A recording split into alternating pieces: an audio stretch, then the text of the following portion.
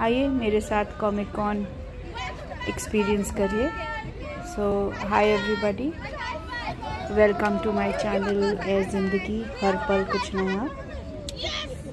अभी एक वीक पहले हम कॉमिक कॉन गए थे।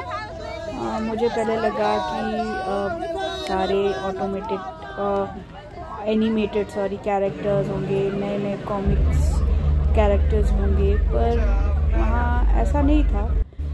और मैंने क्या पाया? आप देख ही सकते हैं। Raj Comics and Diamond Comics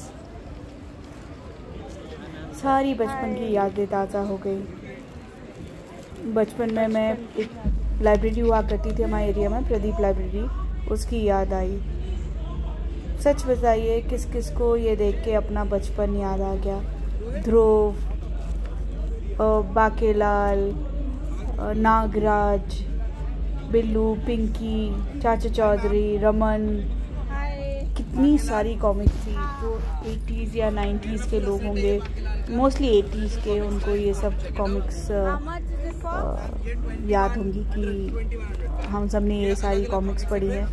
तब Archies Donald Duck Mickey Mouse ये थोड़ी कॉमन थी, पर अनकॉमन भी थी। एंड ये जो इंडियन कॉमिक्स है, ये बहुत कॉमन हुआ करती थी।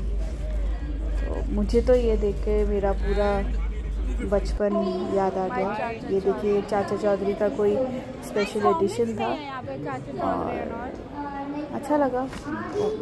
बहुत और यहाँ पे अब हम टिंकल के एक सेक्शन में आ गए हैं। एंड शी हन हैड वन सम जैकपॉट और हमको टिंकल मिली और सुपंदी से के साथ हमने उसको पिक्चर कराया।